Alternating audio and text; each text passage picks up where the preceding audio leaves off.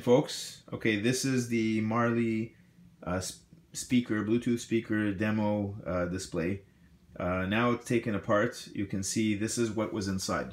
Basically, a board, the speakers one, two, and three hardwired in, and all the power packs. There's three power packs here for each one for each speaker, and this power pack, uh, one of them is for the board over here. You can see the audio outputs coming out of here these uh, four, sorry, five cables with the gray, each with four leads, comes out to the buttons. Two leads uh, are for the contact switch and two leads power the lights. So there they are. And there you have it. So let's turn this thing on. All this was in the display, okay, hidden away. So we, when you plugged it in, basically it would turn on the switch here, okay? You hear pop sound, there. Light comes on. That's the, uh, this is going to the LED light right there. And our lights are illuminated. So let's start with one of the demos. Shady though, and I'm looking at my shadow with my towel on my back, trying to rub my Okay, this is the small speaker. Back when. Okay, this is the one of the other speakers. All right. And then here we have the big speaker again.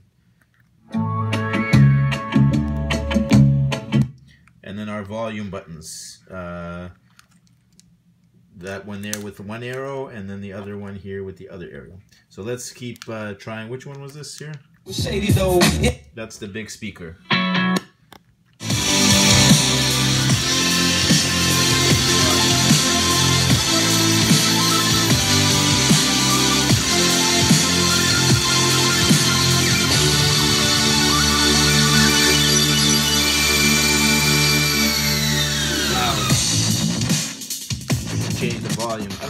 Lights went off here.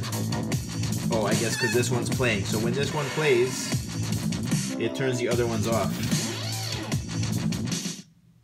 Yeah, and now they all turn on. So all of this magic is uh, accomplished by this board here. And I had a look at the chips. I actually uh, am able to figure out what they are. I've removed some of the uh, stickers on there. But basically, these are both AT uh, Tinies, okay?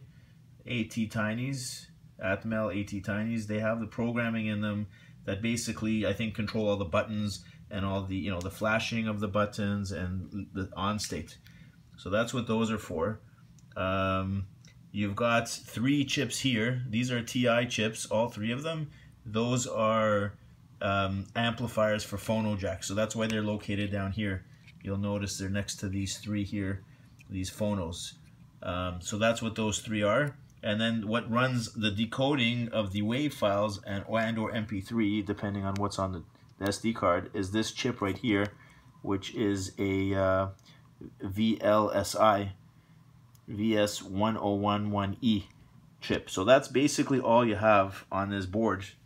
The back side of the board, as you can see, is unpopulated, and you've got your uh, you know your button connector is going in here basically just being pulled into the Atmel um, AT Tinies um, like you could probably run this on an Arduino right? If you had but they basically without the Arduino you just have the AT Tinies already programmed to do stuff.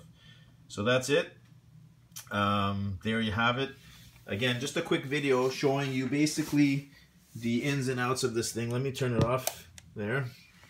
Okay that's all and uh, what I want to do next is try to open up these speakers and try to figure out what is happening with these. As you can see, I'm, I'm able to unplug the speakers from, um, from this board. They just have uh, a cable going to power and a cable going to the uh, uh phono. So I can remove the speakers. The problem is I don't know what's happening inside. Did they bypass, you know, the actual amplifier inside the system? I don't know. You know, you can open these tabs up and you can still find if I open them. They're not easy to open.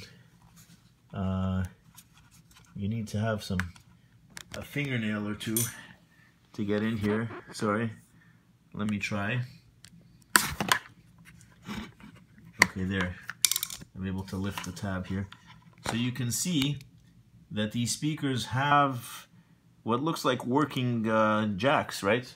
I mean, even this this one here on the back of our our largest speaker, we have a DC in, there's a USB port, a light, auxiliary. I mean, everything seems to be there. Um, so I don't know what was modified in these when they were building them. If they actually kept the electronics and the battery still in there um, and just somehow patched right into the speaker or whatnot. I'm not sure. So we'll find that out in the next video. Uh, but there you have it. Hope you enjoyed this video and looking forward to sharing with you with more on my teardown of this Marley display demo. Thanks again for watching. Bye for now.